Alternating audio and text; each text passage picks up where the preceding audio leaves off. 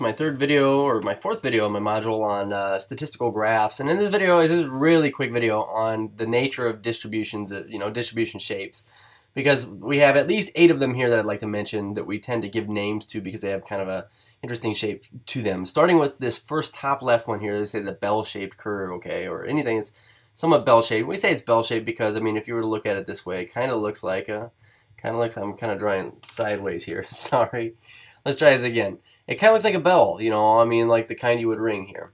Uh, but essentially, this is this is actually a, a, pattern that shows up in a lot of things, like shoe size. You know, if you were to say like size seven, you know, size like ten, size thirteen, size sixteen, or something like that, and go backwards. You know, say, say size four, size one, or whatever. Theoretically, negative two, we can't have it. But but the point here is this. You know, we'd say most people have, you know, somewhere in the middle here, and then as you go, you know, larger shoe sizes, lower shoe sizes, or higher temperatures, lower temperatures, or you know, higher mile times, lower mile times when you run the mile uh, tend to be less frequent. Not as many people on those classes. Okay, uh, uniform distribution. This would be things that are you know relatively straight across the board. So what we say is anything that's uniform is straight across the board. There's no hump in the middle. Now, speaking of this hump in the middle, I'm actually going to skip down to these two right here.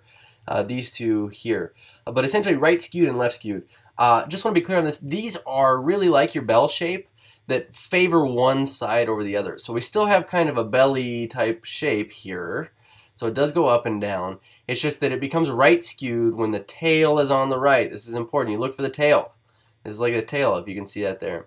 Uh, but it's left skewed when the tail's on the left. Now I do want to distinguish between these two here that we just talked about, these two left and right skewed ones, which are kind of like offset bell shaped. Uh, and I want to compare and contrast those with these, which we refer to as, uh, on the left here we say J-shaped.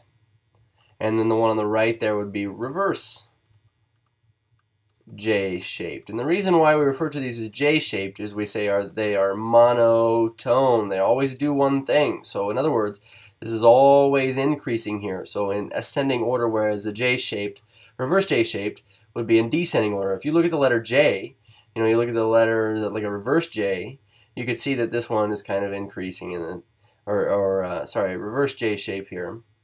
Yes, yes, it is going downhill. So it's kind of like a, the letter J here, and the letter J here.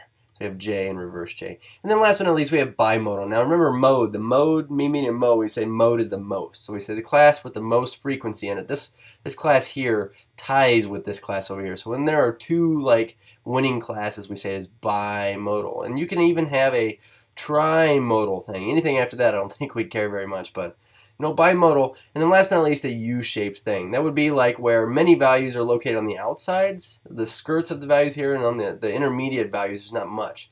So we say U-shape, which is kind of like a like the antithesis to a bell-shaped thing. So this is just a, a quick video, a commentary on the nature of the shapes of distributions.